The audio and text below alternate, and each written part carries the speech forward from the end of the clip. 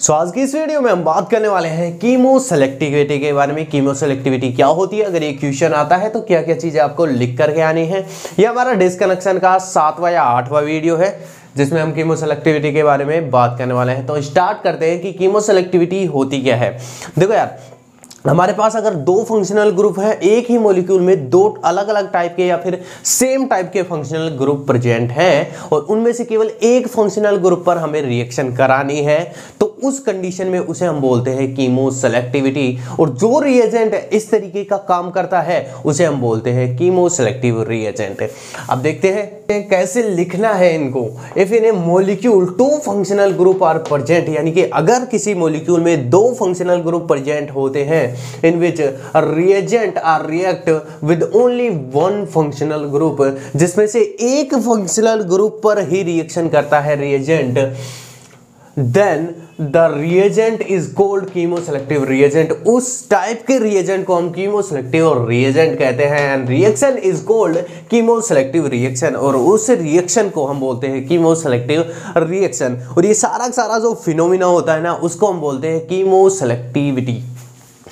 and overall phenomena is called chemoselectivity इस phenomena को, इस घटना को हम कीमो सेलेक्टिविटी कहते हैं। इसका एक एग्जांपल लेते हैं। ये हमारे पास एक मोलिक्यूल है, जिसमें एक तो हमारे पास कीटो ग्रुप है, एक हमारे पास एस्टर ग्रुप है। अब इनमें से रिएक्टिविटी हमारे पास कीटो ग्रुप की सबसे ज़्यादा होती है और जो सोडियम बोरोहाइड्राइड होता है, वो सेलेक्टिवली रिडक्शन करता है कार्बोनिल ग्रुप्स का। कार्बोनिल ग्रुप जैसे एल्डिहाइड कीटोन्स का। और जितने भी बाकी के फ़ंक्शन फंक्शनल ग्रुप हैं, उन पर ये रिएक्शन नहीं करता है। तो सोडियम बोरोहाइड्राइड केवल और केवल कार्बोनिल ग्रुप्स पर ही रिएक्शन करता है, इसलिए इस सीओ ग्रुप को ये चेंज कर देगा एल्कोहलिक ग्रुप में यहाँ पर ओ OH बना देगा, ठीक है?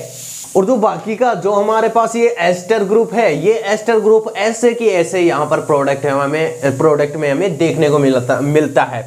प्रोडक्ट में हमें देखने को मिलता है। और अगर इसकी रिएक्शन लिथियम एल्यूमिनियम हाइड्राइड की प्रेजेंस में कराई जाती है, यानी कि इसका रिडक्शन अगर हम लिथियम एल्यूमिनियम हाइड्राइड से कराते हैं, जो कि काफ़ी स्ट्रॉन्ग रिड्यूसिंग एजेंट होता है तो ये दोनों के दोनों फंक्शनल ग्रुप का रिडक्शन कर देता है और उनको एल्कोहल में चेंज कर देता है। यानी कि लिथियम एल्यूमिनियम हाइड्राइड जो है ना, वो सेलेक्टिव रिएजेंट नहीं है। ये एक फंक्शनल ग्रुप का रिडक्शन नहीं करके दोनों फंक्शनल ग्रुप का रिडक्शन करता है। लेकिन हमारे पास सोडियम बोरोहाइड्राइड होता है, वो केवल और केवल CO ग्रुप का रिडक्शन करता है, एस्टर ग्रुप का कुछ भी नहीं बिगाड़ पाता है, इसलिए ये सेलेक्टिविटी शो कर रहा है, इसीलिए ये सेलेक्टिव रिएजेंट है, ठीक है? तो here sodium borohydride is selective reagent which which react which selectively reduce only carbonyl functional group ये केवल और केवल कार्बोनिल फंक्शनल ग्रुप का रिडक्शन करता है। And other functional group does not effected और जो बाकी का जो फंक्शनल ग्रुप बचा हुआ है एस्टर जो बचा हुआ है, उसका ये कुछ भी नहीं बिगाड़ता है। इसलिए ये सेलेक्टिविटी शो कर रहा है, इसीलिए ये हमारा एक सेलेक्टिव रिएजेंट है, जो कि कीमो सेलेक्टिविटी शो कर रहा है। तो ये रिएक्शन जो होगी, ये कीमो सेलेक्टिव रिएक्शन है। ये रिएक्शन कीमो सेलेक्टिव रिएक्शन नहीं है।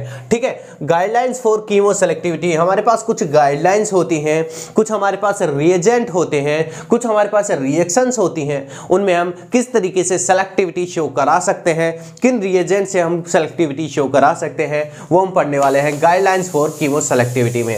इसका फ़र्स्ट देखते हैं। If in a substrate two functional group are present then more reactive functional group react firstly अगर यार हमारे पास सबस्टेट में दो फंक्शनल ग्रुप प्रेजेंट है और उनमें से एक फंक्शनल ग्रुप की रिएक्टिविटी ज़्यादा है एज कंपेयर टू दूसरे फंक्शनल ग्रुप तो जो रिएक्टिव फंक्शनल ग्रुप है ना, वो वो पहले रिएक्ट करेगा वो सेलेक्टिवली उसका रिएक्शन होगी उसकी रिएक्शन सेलेक्टिवली होगी। इसे हम एक एग्ज़ाम्पल से समझते हैं। यह हमारे पास एक मोलिक्यूल है। सबसे पहले इसमें डिस्कनेक्शन कराने वाले हैं। कहाँ से होगा? इस ऑक्सीजन और इस पीएच के कार्बन का डिस्कनेक्शन होगा। ठीक है? कार्बन ऑक्सीजन डिस्कनेक्शन इस तरीके का एरो आएगा डिस्कनेक्शन का। तो ये दो मोलिक्यूल हमें मिलेंगे देखो, यहाँ पर मैंने सिंथेटिक इक्विवेलेंट डायरेक्ट बना दिया है। यहाँ पर नेगेटिव चार्ज आएगा। नेगेटिव पर जाकर कौन चिपकेगा? एच प्लस ठीक है? एच प्लस ये ओ OH बन जाएगा। और पीएच पर क्या आएगा? पीएच पर आएगा पॉजिटिव चार्ज जहाँ पर iodine iodine is a best best leaving group अच्छा खासा लिविंग ग्रुप है, ये जाकर के वहाँ पर चिपक जाएगा, ठीक है? ये हमारे पास दो सिंथेटिक इक्विवेलेंट बनने वाले हैं। अब इनमें से ये हमारे पास बन चुका है, अब इसको आगे भी हम तोड़ सकते हैं। तो यहाँ पर इसका एफजीआई कराएँगे सबसे पहले, जो सीओ जो ग्रुप है, इसे सी में चेंज कर लेंगे एफ़ करा करके, क्योंकि हमें सी से सी ग्रुप बनाना आता है, ठीक है? सी बन चुका है, अब हम इस सी को भी ला सकते हैं। तो हमें इसको ना, हम इसको फिनोल में कन्वर्ट कर लेते हैं क्योंकि यहाँ इस फिनोल में हम सी आराम से जोड़ सकते हैं इसके पैरा पोजिशन पर जो कि फ्रीडल क्राफ्ट एल्काइलेशन से हम कर सकते हैं ठीक है? तो इसमें से सी एस थ्री को हटा देंगे और हमारे पास ये सिंपली स्टार्टिंग मटेरियल आ जाएँगे जिसमें फिनोल है। जब हम फिनोल की देखो सिंथेसिस में देखते हैं। फिनोल की रिएक्शन जब हम C S three C L और A L C L three की प्रेजेंस में कराते हैं तो फ्रीडल क्राफ्ट एल्काइलेशन रिएक्शन होती है जिससे जो एल्को ये जो फिनोल है इसकी ओर्थो और पैरा पोजिशन पर कहीं पर भी आ, आ सकता है सी लेकिन हमें चाहिए कहाँ पर? पैरा पोजिशन पर।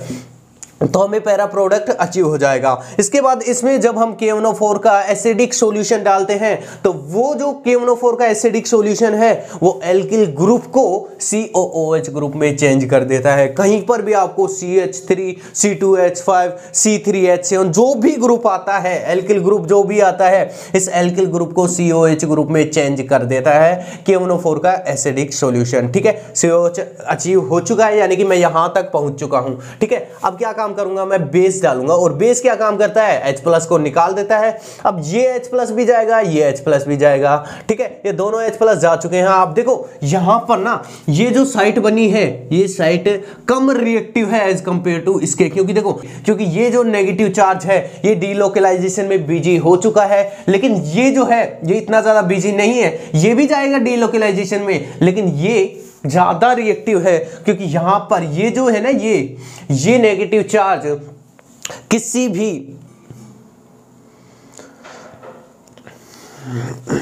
क्योंकि ये जो नेगेटिव चार्ज है ना, ये नेगेटिव चार्ज यहाँ पर भी जाएगा, लेकिन ये साइट ज़्यादा रिएक्टिव होगी एज कंपेयर टू इसके, क्योंकि यहाँ पर नेगेटिव चार्ज ज़्यादा बिज़ी रहेगा, यहाँ पर नेगेटिव चार्ज इस ऑक्सीजन पर बहुत कम रहेगा, और यहाँ पर ऑक्सीजन पर रहेगा ये नेगेटिव चार्ज तो ये साइट ज़्यादा रिएक्टिव है एज कंपेयर टू इसके। ये तो हमेशा डीलोकलाइजेशन में जाता रहेगा, यहाँ से ये यहाँ पर जाएगा, फिर यहाँ पर यहाँ पर ये जाता रहेगा। लेकिन ये जो है ना, ये इतना ज़्यादा नहीं नहीं जा पाएगा। इसीलिए इसीलिए यहाँ पर जब हम आयोडोबेंजीन की रिएक्शन कराएँगे तो आयोडोबेंजीन में ये आयोडीन बाहर निकलेगा और यहाँ पर जो पॉजिटिव चार्ज आएगा, वो यहाँ पर जाकर के इस ऑक्सीजन पर जाकर के चिपक जाएगा और हमें ये देखने को मिलेगा। यहाँ पर यहाँ पर हमें सेलेक्टिविटी देखने को मिल रही है। हमारे पास दो दो फंक्शनल ग्रुप हैं। अब इन दोनों फंक्शनल ग्रुप में ये जो बने हुए हैं, इनके जो H प्लस निकलने के बाद जो हमारे पास बना है, इनमें से इनकी रिएक्टिविटी के अकॉर्डिंग हमारे अटैकिंग स्पीसीज जुड़ने वाली है। तो यहाँ पर ये जो नेगेटिव चार्ज है, ये बिज़ी हो चुका है, ये इतना ज़्यादा बिज़ी नहीं है। इसीलिए ये इसकी जो रिएक्टिविटी है, वो ज़्यादा होगी। इसीलिए आयोडोवेंजिन में आयोडीन निकलते ही ये जो पॉजिटिव चार्ज है, ये इसका ऑक्सीजन पर जा करके जुड़ेगा और ये बना लेगा। अब हम सिंपली H प्लस प्लस डालेंगे प्रोटोनेशन करेंगे, ये एच प्लस जाकर के यहाँ पर चिपक जाएगा और सी बना लेगा, ठीक है? तो फाइनल प्रोडक्ट हमें ये यहाँ पर मिल जाता है। ये हमारा स्टार्टिंग मटेरियल था, ये सेम टू सेम है, ये और ये सेम टू सेम है, ठीक है? तो यहाँ पर हमारा जो फंक्शनल ग्रुप है, उनकी रिएक्टिविटी के अकॉर्डिंग हमारे पास सेलेक्टिविटी देखने को मिलती है, ठीक है? अगली है if in a molecule two same functional group are present अगर किसी भी मोलिक्यूल में दो सेम फंक्शनल ग्रुप प्रेजेंट होते हैं then by the help of selective reagent तो उस कंडीशन में सेलेक्टिव रिएजेंट की हेल्प से वी कैन अचीव सेलेक्टिविटी उस कंडीशन में हम सेलेक्टिव रिएजेंट की हेल्प से अचीव कर सकते हैं सेलेक्टिविटी कीमो सेलेक्टिविटी अचीव कर सकते हैं। वो किस तरीके से करेंगे? वो देखते हैं। ये हमारे पास एक कंपाउंड है। इस कंपाउंड का नाम क्या है? Ortho meta meta nitro aniline ठीक है? ये हमारे पास कंपाउंड है। इसमें सबसे पहले एफ़ करेंगे। एफ़ करा करके हम इस NH2 को चेंज कर लेंगे NO2 में और NO2 NO2 बनने के बाद ये दोनों NO2 ग्रुप हम जोड़ सकते हैं। इसीलिए इसको हम बेंजीन में कन्वर्ट कर लेंगे, क्योंकि देखो, हम इस बेंजीन में इन दोनों NO2 ग्रुप्स को आराम से जोड़ सकते हैं नाइट्रेशन प्रोसेस के थ्रू अब यहाँ पर हमें सेलेक्टिविटी कहाँ पर शो हो रही है, ये यहाँ पर नहीं पता चलेगा। ये हमें पता चलेगा इसके सिंथेसिस में। ये क्या है इसका? सिंथेसिस प्रोसेस ये सिंथेसिस प्रोसेस है, ठीक है? अब इसमें क्या हो रहा है? हमारे पास ये सिंपली स्टार्टिंग मटेरियल है। अब इसमें सबसे पहले हम H2SO4 HNO3 का मिक्सर डालेंगे। नाइट्रेशन प्रोसेस होगी। ये यहाँ पर बन चुके हैं। अब आगे हमें सेलेक्टिविटी शो होगी। अब देखो, यहाँ पर इस NO2 को हमें HNO2 NH2 में चेंज करना है और एक को ही करना है, केवल एक को ही करना है। इसीलिए सेलेक्टिविटी शो हो रही है। यहाँ पर NO2 दो है, लेकिन एक को ही मुझे NH2 में चेंज करना है। तो क्या मिलाऊँगा मैं? एस नहीं मिला सकता हूँ, क्योंकि एस जो होता है, वो रिडक्शन तो करता है NO2 को NH2 में तो चेंज करता है SN प्लस लेकिन वो इन दोनों NO2 को NH2 में चेंज कर देगा तो इसे हम सेलेक्टिविटी नहीं कहते हैं। सेलेक्टिविटी हम इस, उसे कहते हैं, जिनमें से एक फंक्शनल ग्रुप का ही, एक फंक्शनल ग्रुप पर ही रिएक्शन हो। इसीलिए NH4 का X और सल्फ़र ये हमारे पास एक कंपाउंड है, जो कि कीमो सेलेक्टिव रिएजेंट की तरह यहाँ पर बिहेव करने वाला है कीमो सेलेक्टिविटी शो कराने वाला है। इसकी प्रेजेंस में इस NO2 ग्रुप का रिडक्शन होगा और ये केवल एक, इनमें से कोई सा भी एक NO2 ग्रुप NH2 में चेंज हो जाएगा। इसीलिए इस रिएजेंट को कीमो सेलेक्टिव रिएजेंट कहते हैं, जो कि NH2 को सेलेक्टिवली NO2 का रिडक्शन करता है, ठीक है? तो यहाँ पर अगर हमारे पास दो दो अलग अलग फंक्शनल ग्रुप हैं तो इस तरीके से एक NO2 को हम चेंज कर सकते हैं NH2 में। अगर हम ऐसे NHCl लेते हैं तो वो तो दोनों NO2 को ही NH2 में चेंज कर देगा, ठीक है?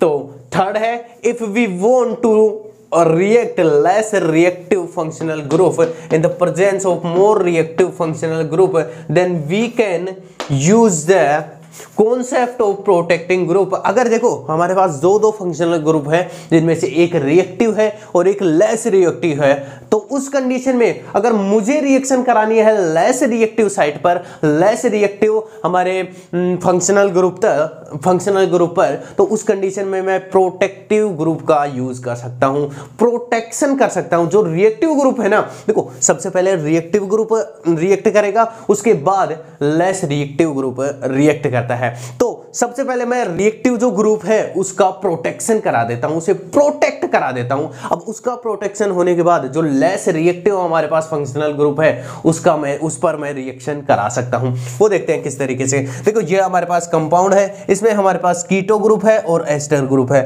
अब इनमें से जो कीटो ग्रुप होता है, वो मोर रिएक्टिव होता है और ये जो होता है, वो लेस रिएक्टिव होता है। ये हम यहाँ पर भी देख चुके हैं, यहाँ पर भी देख चुके हैं। ये मोर रिएक्टिव है, ये लेस रिएक्टिव है। तो यहाँ पर ये मोर रिएक्टिव है और मुझे रिएक्शन करानी है केवल इस एस्टर पर इस कंडीशन में मैं इस सीओ ग्रुप का प्रोटेक्शन करा देता हूँ। और प्रोटेक्शन के लिए मैं यूज़ करता हूँ इथाइल इथाइल ग्लाइकोहोल ठीक है? अब इस इथाइल ग्लाइकोहोल की प्रेजेंस में मैं सीओ ग्रुप का प्रोटेक्शन करा देता हूँ। किस तरीके से होगा? ये जो ऑक्सीजन है, ये इन दोनों हाइड्रोजन को लेकर के एच टू बना करके बाहर हो जाएगा और मुझे ये स्पीसीज देखने को मिलेगी जिसमें से ये जो सीओ ग्रुप है, ये पूरी तरीके से हट चुका है। अब इसे मैं दोबारा भी ला सकता हूँ, वो कैसे लाऊँगा, वो मैं बाद में बात करूँगा, ठीक है? तो ये इसका प्रोटेक्शन हो चुका है। अब आगे हम लिथियम एल्यूमिनियम हाइड्राइड जब हम इसमें डालेंगे तो इसका रिडक्शन हो जाएगा ये रिड्यूस हो जाएगा। अब अगर हम डायरेक्ट लिथियम एल्यूमिनियम हाइड्राइड डालते हैं तो सबसे पहले ये ग्रुप का, इस ग्रुप का रिडक्शन होता और उसके बाद इसका रिडक्शन होता। लेकिन मुझे सेलेक्टिवली एस्टर का रिडक्शन कराना है तो उस कंडीशन में मैं कीटो ग्रुप को प्रोटेक्ट करा दूँगा प्रोटेक्शन करा दूँगा। प्रोटेक्शन को, अब देखो, यहाँ पर हमारे पास कंपाउंड बन चुका है एल्कोहल बन चुका है एस्टर से। अब एल्कोहल बनने के बाद इस सीओ ग्रुप को मुझे दोबारा लाना है। उस कंडीशन में मैं क्या करूँगा? डी प्रोटेक्शन अब डी प्रोटेक्शन में क्या होगा?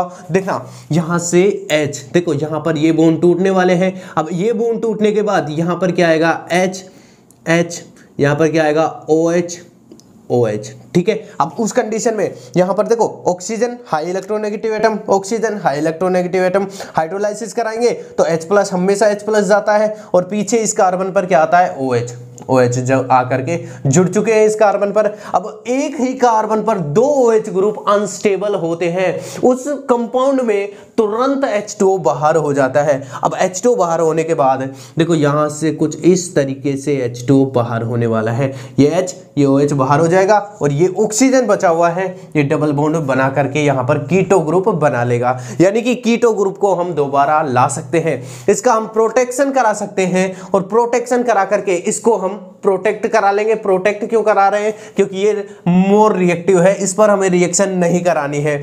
इसीलिए इसका प्रोटेक्शन करा रहे हैं। प्रोटेक्शन कराने के बाद इसका हम इजीली डी प्रोटेक्शन भी करा सकते हैं। ठीक है? तो by the help of concept of protecting group protective group की हेल्प से हम आराम से सिलेक्टिविटी शो करा सकते हैं हमारे कंपाउंड में। हमारी फोर्थ है फोर्थ गाइडलाइन है if in the substrate two same functional group are present then by the help of one equivalent of reagent we can observe selectivity अगर हमारे पास सबस्टेट में दो फंक्शनल ग्रुप हैं और सेम फंक्शनल ग्रुप हैं, यहाँ पर O H O S same functional group है लेकिन एक का ही एक लेकिन एक पर ही हमें रिएक्शन करानी है। उस कंडीशन में हम किसी भी रिएजेंट का वन इक्विवेलेंट यूज़ कर सकते हैं। यानी कि अगर मैं इसका एक मोलिक्यूल यूज़ कर रहा हूँ तो मैं अपने रिएजेंट का केवल एक मोलिक्यूल यूज़ करके एक ही OH पर रिएक्शन करा सकता हूँ। दूसरे ओ OH को हम ऐसे के ऐसे रख सकते हैं। देखो, यहाँ पर मान लो ये है, हमारे पास सबस्टेट है ये। अब मैं इसमें बेस ऐड कर रहा हूँ और NaOH ऐड कर रहा हूँ। अब NaOH का केवल मैं एक मोलिक्यूल यूज़ कर रहा हूँ और इसका भी मैं केवल एक मोलिक्यूल यूज़ कर रहा हूँ। एसिड बेस रिएक्शन होगी, ये H प्लस निकलेगा। बेस ओ OH बेस के ओ OH के साथ ये रिएक्ट करके H2O बाहर निकाल देगा। तो यहाँ पर केवल मेरे पास NaOH का एक मोलिक्यूल है, इसका भी एक मोलिक्यूल है। तो उस कंडीशन में, यानी कि एक इक्विवेलेंट यूज़ कर रहा हूँ, एक मोलिक्यूल यूज़ कर रहा हूँ तो उस कंडीशन में भाई साहब एक ही OH पर रिएक्शन हो सकती है। दूसरे OH पर रिएक्शन करने के लिए मेरे पास OH NaOH है ही नहीं। उस कंडीशन में मैं दूसरे OH को ऐसे की ऐसे रख सकता हूँ by the use of one equivalent of reagent ठीक है? रिएजेंट का एक इक्विवेलेंट यूज़ करके मैं यहाँ पर सेलेक्टिविटी दिखा सकता हूँ, ठीक है? तो ये बन चुका है। देखो, यहाँ से H प्लस निकल गया नेगेटिव चार्ज आ गया, अब सी एस थ्री आई यानी कि मिथाइल आयोडाइड यूज़ करके मिथाइल आयोडाइड की रिएक्शन इसके साथ कराएँगे। आयोडीन बाहर निकलेगा, ये अच्छा खासा लिविंग ग्रुप है, आराम से निकल जाएगा। सी एस थ्री जाकर के इसके पास जुड़ जाएगा और हमें प्रोडक्ट मिल जाएगा। यहाँ पर हमें सेलेक्टिविटी मिल सकती है अगर हम one equivalent of reagent use करें। तो ये हमारी कुछ गाइडलाइंस हैं, जिनके थ्रू हम ये देखते हैं, किस तरीके से सेलेक्टिविटी होती है, किस तरीके से हम सेलेक्टिविटी देख सकते हैं किन किन कंपाउंड में किन किन रिएजेंट्स के थ्रू हम सेलेक्टिविटी शो करा सकते हैं। तो अगर ये क्वेश्चन आता है तो ये सारी चीज़ें लिखना सफिशियंट है। इतना बहुत है, ठीक है? तो ये था हमारी कीमो सेलेक्टिविटी का ये वीडियो अगर वीडियो अच्छा लगा हो तो वीडियो को लाइक करें शेयर करें और सब्सक्राइब करें हमारे चैनल को। धन्यवाद, जय हिंद।